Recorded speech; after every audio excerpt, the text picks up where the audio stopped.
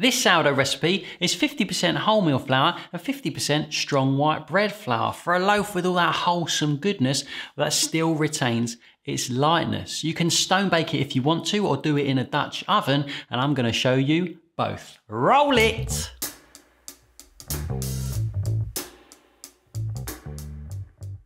Hey home bakers, this loaf is a variation of your standard sourdough recipe you all know and love from video 101. That's 99 videos ago. Woo! It's about time we did a wholemeal version, isn't it? Before we begin, there's four very important things we need to discuss, and don't click away because I said it's very important. Number one, this is a three day process. Day one, you feed your starter, takes like 20 seconds. Day two, you make your dough. It's going to be five hours start to finish, and then you pop it in the fridge. And day three, you bake it. It sounds like a lot, it's really not. Second thing is that it's 22 degrees C in here, that's 71.6 degrees Fahrenheit. That's the temperature it was on the day I did this recipe. If it's warmer where you are, things are gonna happen a little faster. And if it's cooler where you are, you might need to leave things a little bit longer, but you already knew that, didn't you? Thirdly, another question I get asked loads. My starter is made out of wholemeal rye flour. That's why it looks kind of grey brown colour and that's why it's so thick. I use wholemeal rye because I like the flavour and also I feel like it makes a starter it's a little bit more robust a little bit more able to withstand neglect. And that's a priority for me. Also, there is no maintenance regime here. There's no maintenance, there's no daily, weekly feeding, there's no discard. I use the scrapings method. I just keep the scrapings in the bottom of the jar ready for next time. And as long as I bake on the regular, I can just feed it up to what I need it, leave it overnight, and it's good to go. Then I scoop it out, leave the starter scrapings for next time. You're going to need a starter. If you haven't got one, you haven't made one, I will put a link underneath for my sourdough starter recipe and also a link to an ancient video where a very young me will really awkwardly explain to you what the sourdough scrapings technique actually is. With all that out of the way, cut to the table. It's day one in the evening and I'm going to feed my starter. I normally do this before I go to bed, around about nine o'clock-ish. If I forget, I'll do it at 10 o'clock ish. And if I feel like I'm going to forget, well, then I might do it at eight o'clock if I think I'm going to forget later on. The point is, do it in the evening before we go to bed at some point. Here's the scrapings I have in my jar that I was talking about earlier. It's just the bare minimum clinging to the edges and clinging to the bottom of the jar from the last time I made sourdough. This process is a loop. It's really hard to know where to begin, so I'm going to begin here. And hopefully the rest makes sense. I need 100 grams of sourdough starter for this recipe, and if it's half flour and half water, well then I need 50 grams of each, don't I? There is a thermometer in my jug of water, and that tells me that I've made the water 22 degrees C, the same as the temperature of my room on the day. I find it easier to have a batch of water like this at the correct temperature and then weigh out the quantity that you need. If you feel like it's going to be colder in your home overnight, feel free to use water. It's a little bit warmer. It will give your starter a little boost in the beginning and everything will come down to room temperature anyway by the morning. So it'll probably be okay. With your jar on the scales, pour in 50 grams of water and then use a spoon to just kind of scrape up and pick up all that natural yeast rich starter from before. Remember, we are looking after a community of natural yeast within your starter. That's what we're doing. We're giving it a home. Those scrapings that you saw in the jar are already full to bursting of those natural yeasts. All we got to do is give it food.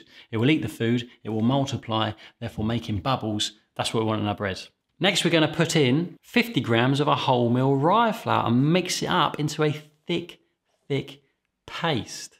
Use the edge of your spoon to clean down the edges and pat your mixture flat on the top. If everything is flat, nice and neat and tidy, you can see by the morning just how much it's risen up. If you want to, you can put an elastic band on it, or some people draw on it with like a wipeable marker. That way you can see by the morning exactly how much it's risen, but I don't do that. Um, I just, I don't.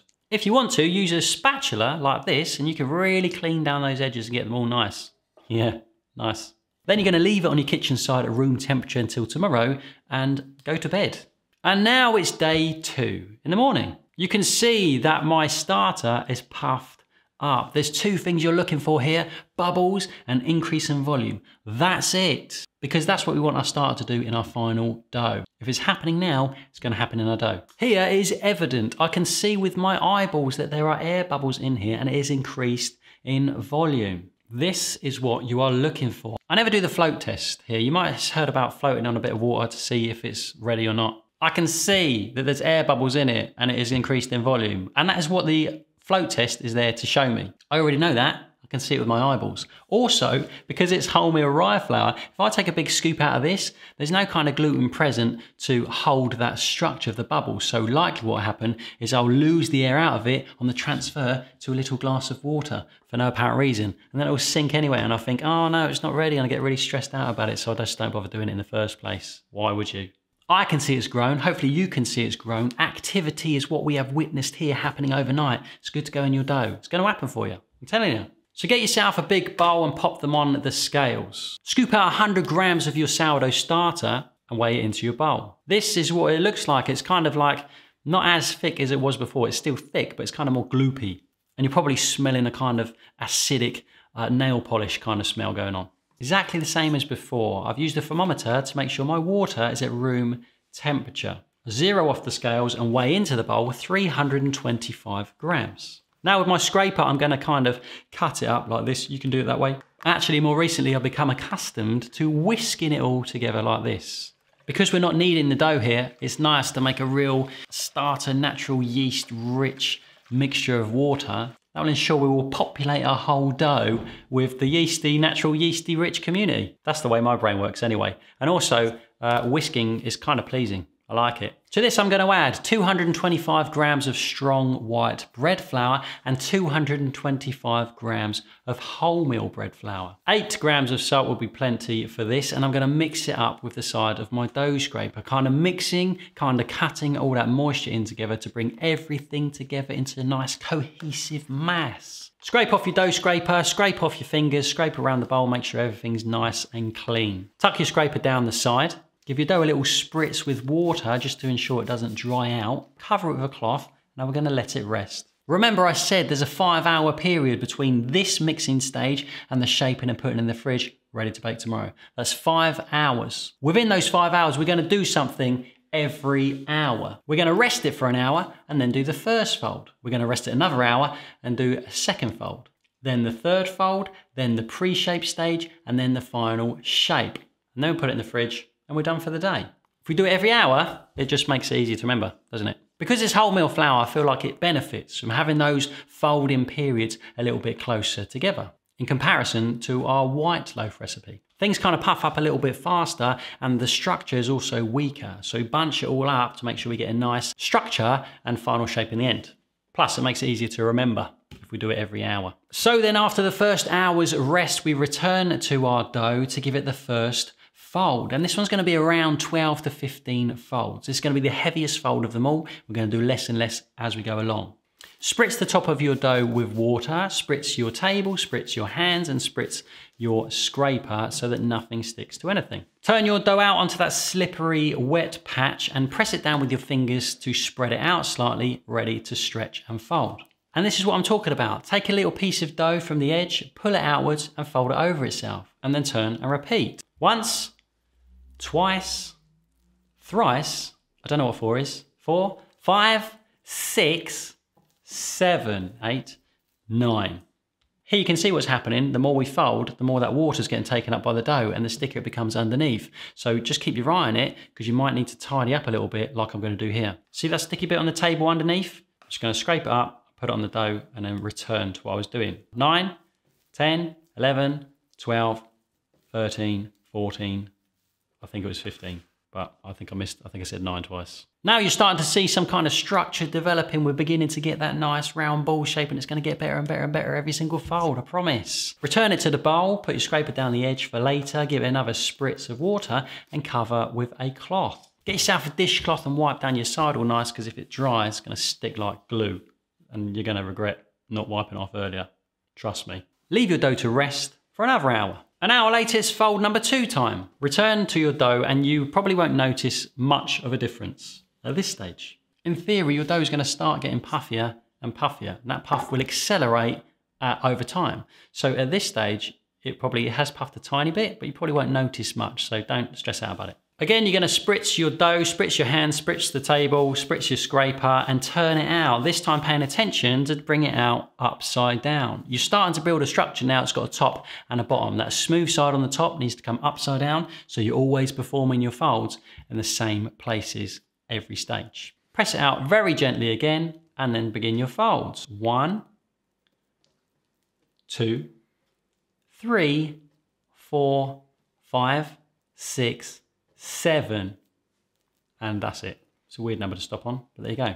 Here we're starting to get that dome. It's beginning to get some kind of elasticity and resistance that we're looking for. We're just performing enough folds to just retighten it back into a ball again. Back into the bowl, wipe down your side, spritz it with water and pop your cloth on top for another rest.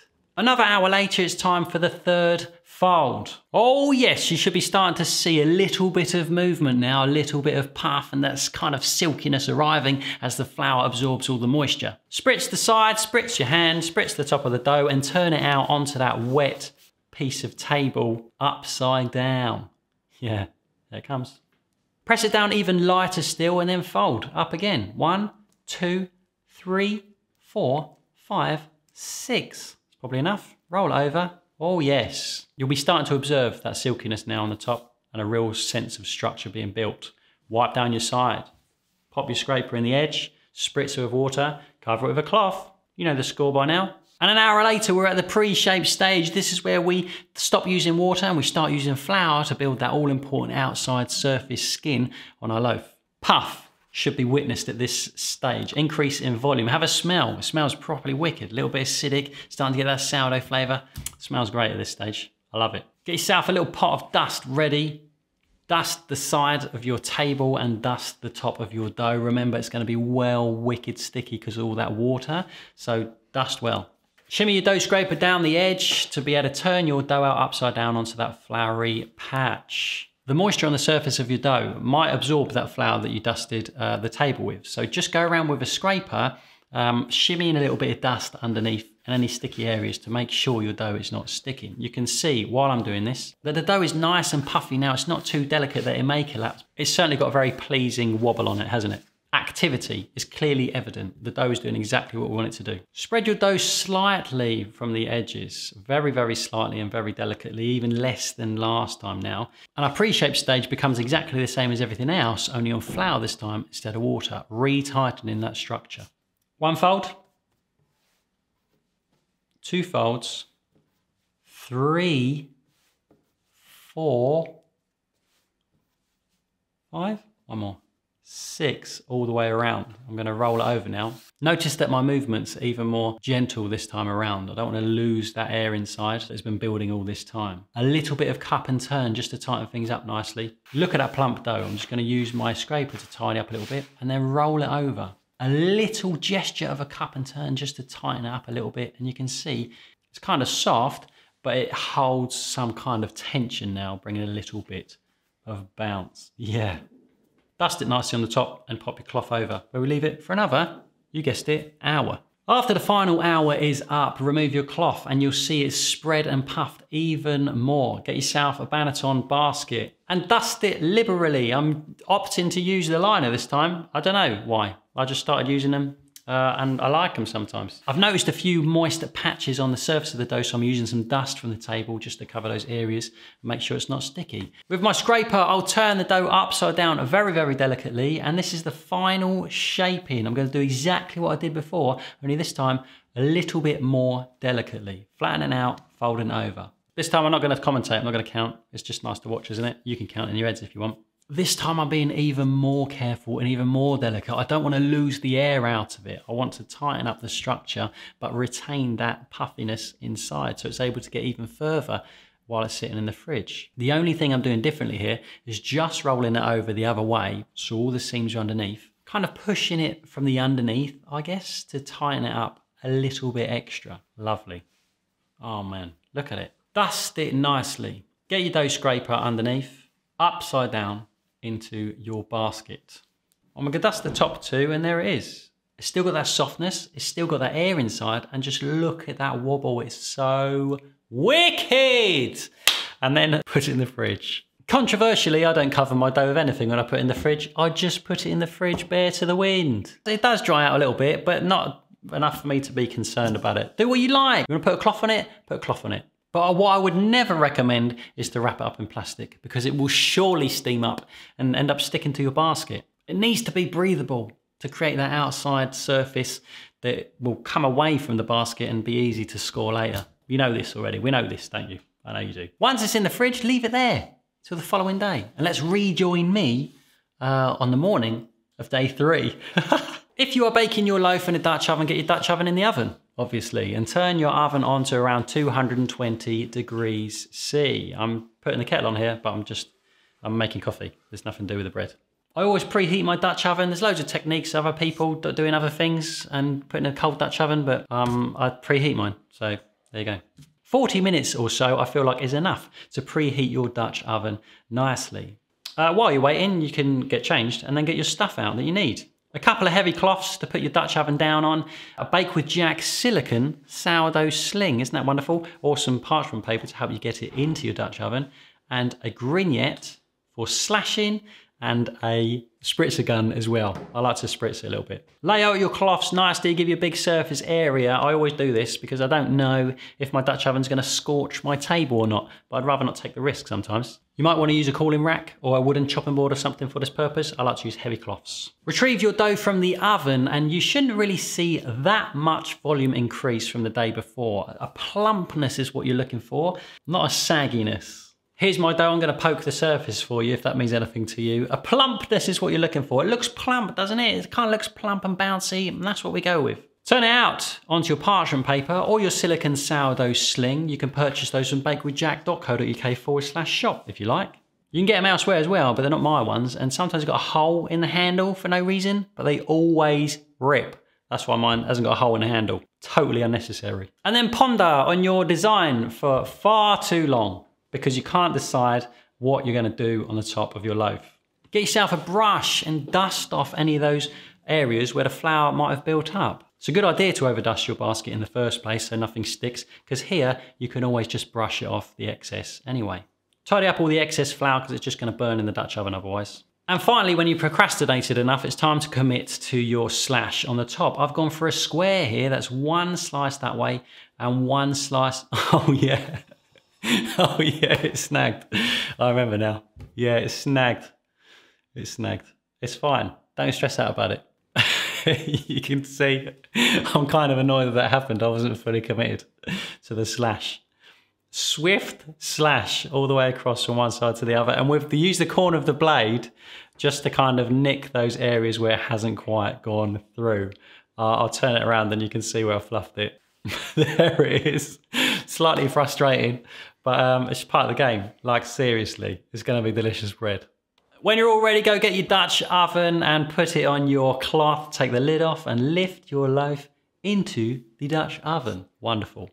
Nice job, Jack. It's easy to forget that that lid's hot, but it's roasting hot. So don't forget your cloth when you get ready to put the lid on. A couple of spritzes of water inside. I feel like I like to do that because it probably creates a little bit more steam. Just feels like a nice thing to do.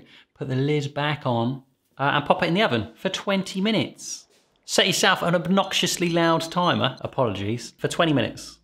When that timer goes off, retrieve your Dutch oven from the oven uh, and take the lid off to see how you've got on. This is always a very, very pleasing moment. Let's see how I got on, shall we? Ooh, fingers crossed.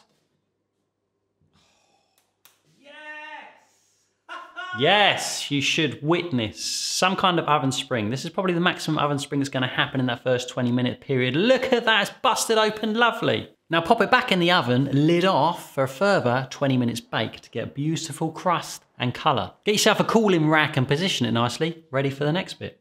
And now it's time to retrieve your loaf from the oven. Let's have a look, shall we? Yeah, nicely golden brown, crispy crust. If you let your sling handles cool just for a minute or so, you'll be able to touch it with your hands. They still get hot, but after like a minute, you'll be able to pick it up with your fingers without burning them. Lift out your proud loaf, pop it onto your wire rack and, and slide it off, let it cool down. Oh yeah, nice one. Not bad at all, if I do say so myself. And I do say so myself, I do. And for you stone bakers, get stone in your oven on the middle shelf and a deep roasting tray on the shelf beneath. You're going to want to preheat this, again, the same as the Dutch oven, for about 40 minutes or so, getting nice and hot. Boil the kettle. Get a large wooden peel, the kind that you use for a pizza, and your grignette ready. Retrieve your dough from the fridge and turn it carefully upside down onto your peel, which is actually the right way up again, isn't it? Because you put it in the basket upside down, remember? Brush off any excess flour from your dough and brush the peel too, otherwise you'll slide all that flour onto the stone and it will just burn confidently score a square on the top or you can do a cross if you want and try and do it better than last time, yeah? Come on. There we have it. Isn't that lovely? Isn't that a lovely sight? Oh, man.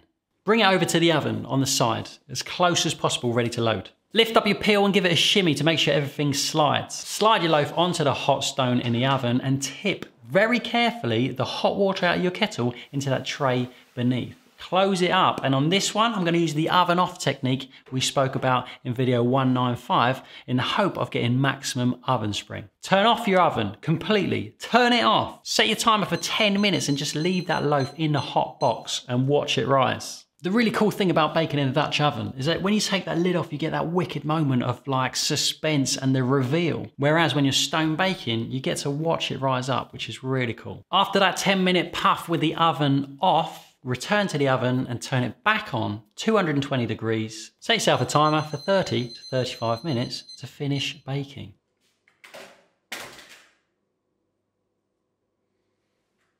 Get your cooling rack ready and when your loaf is done, slide it out onto the rack to cool. Check it out, we've got that wicked burst from leaving the oven off for the first 10 minutes. If you don't want to do that, if you feel worried about it or you feel like it's risky, just bake the whole loaf from start to finish at 220 degrees for 40 minutes. Here, I did the first 10 with the oven off and then I left the next like kind of 30, 35 with the oven back on again. Wicked, lovely, burst, crispy crust. Man, we cracked it. It's always very pleasing and very rewarding when things go right with sourdough, but it doesn't always happen, and that's okay. Two videos ago, in number 198, I believe, I outlined some struggles I was having.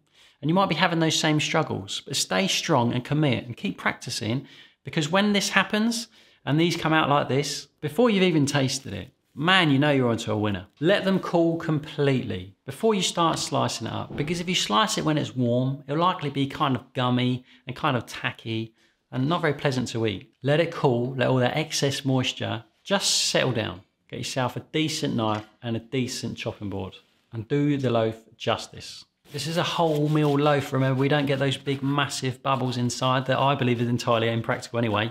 We get a finer crumb texture. You can, if you want to, do this with 100% wholemeal flour. But you're gonna wanna up the moisture about 10 or 20 grams or so, and you'll end up with a loaf that's not in a bad way. It still has its place, it's just not to my taste. There is a slight difference between the one that's stone baked and the one that's baked in a Dutch oven. The Dutch oven is kind of lacking that real golden colour and it's not as tall and proud as the other one. The crust is kind of thinner and the crumb is kind of moister. For me, the true difference between these two techniques is the technique itself, whether it's practical for you or it's not. Whether you enjoy stone baking or you kind of want a low maintenance way of just baking one loaf at a time in a Dutch oven, that's fine. I hope you enjoyed this recipe. It's been a long time coming. Have a crack at it. And let me know how you get on. Enjoy making sourdough this sourdough September. And I hope you enjoy all the other sourdough videos that have gone out this year and the previous years because I think there's so much to learn about sourdough from both our successes and from our failures. It's a long-term journey. Remember that. Try not to get down in the dumps if things don't go bang on first time round. Hopefully there's enough